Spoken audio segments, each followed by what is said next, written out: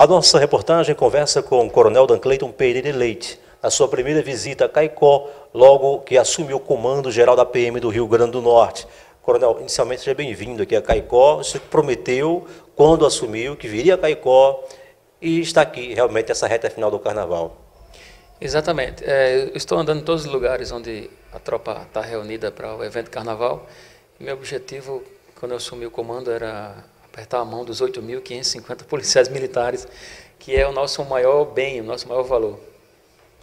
Ah, o senhor assume com a missão, né, comandante, de melhorar a segurança pública, claro que com o aval aí do governo do Estado, o senhor levou uma mensagem muito forte à tropa, logo da sua posse, foi eh, veiculada nos veículos de comunicação do Rio Grande do Norte, com uma mensagem muito forte de melhorar a situação para o policial e para a população. Exatamente. A Polícia Militar tem seu papel na Constituição Federal.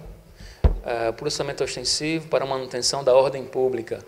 Nós somos apenas um dos órgãos da segurança pública. Nós temos a nível federal, Polícia Federal, Rodoviária Federal, e nós temos Polícia Civil, Polícia Militar e TEP.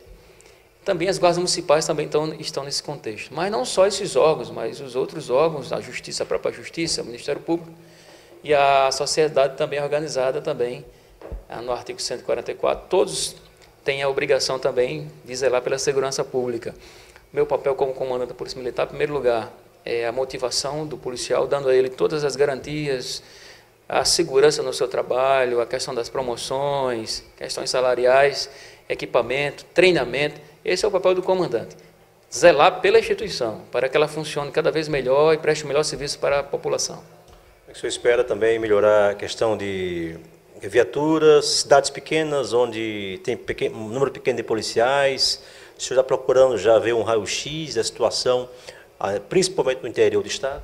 Nós já conhecemos, né, a polícia, é, nós temos um déficit grande de efetivo, cerca de 4.500 policiais. É previsto 13 mil, nós temos 8.500. É, estamos suprindo essa, essa carência aí com questão de ideia operacional, não é, o, não é o ideal. O governo do estado está anunciando um concurso para 2 mil policiais, estamos nessa boa expectativa aí de ter um concurso em breve para suprir essas necessidades do interior e da nossa capital. Para Caicó, comandante, o que é que o senhor tem de boa informação para os militares em Caicó? Boa informação é o Vale Alimentação, que vem chegando aí, né? Está chegando aqui, já chegou em Mossoró, acredito que tá, já deve ter chegado aqui, se não está chegando. Majoração do Vale, de 10 para 12 reais, já foi feita. Essa é a primeira boa notícia que é, é, eu acho que é uma excelente notícia para todos. A gente deixar, deixar de. A gente existe uma dificuldade nossa para trabalhar, principalmente no carnaval, às vezes, às vezes a gente não tem um apoio necessário do município. E nós temos que ser mais independentes aí, para trabalhar com mais isenção. A respeito do Vale Alimentação, seria curto prazo? O senhor espera que haja uma resposta imediata disso? Sim, sim. É, Mossoró já está já tá recebendo. Caicós, não sei se já está recebendo, mas já foi ao pessoal lá da DAL, a Diretoria de Apoio Logístico, já está fazendo remanejamento de recursos, da, tirando da, da parte do gênero alimentício, que é um desperdício muito grande, quando você compra o gênero, acaba é, jogando um pouco fora né, a comida, e o vale, o vale alimentação ele é mais prático. Você elimina também a parte é, de policiais que trabalham nessa confecção desse alimento, e aí você também ganha efetivo.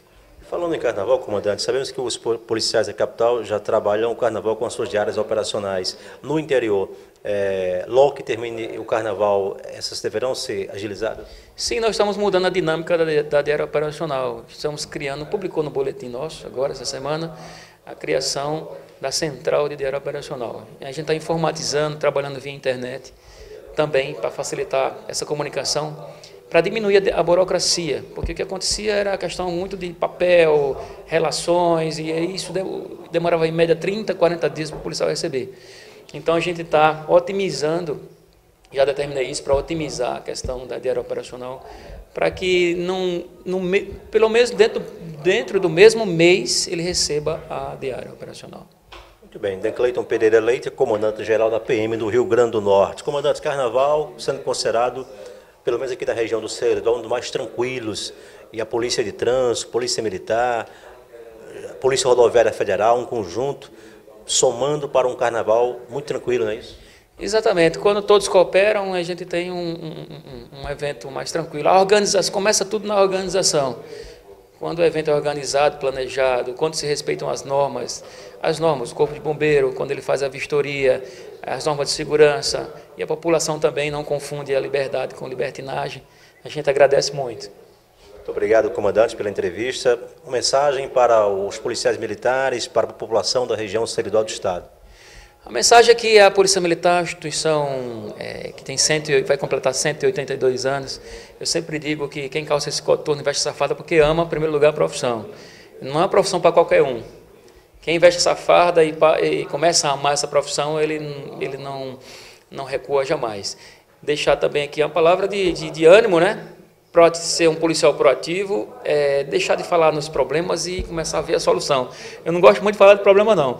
Eu estou há menos de um mês no comando e a gente tem que andar para frente, deixar as coisas que ficou para trás e, e pensar numa polícia mais profissional, é, mais preparada, mais técnica. Esse é o meu papel.